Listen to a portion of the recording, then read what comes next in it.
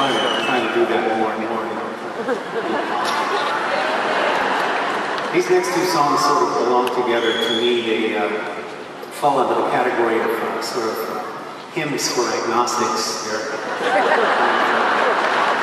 and uh, this tune of the first one we're going to do, is, uh, uh is such an uplifting thing. You know, it's just, it's almost like guaranteed to, to pick you up a couple of notches.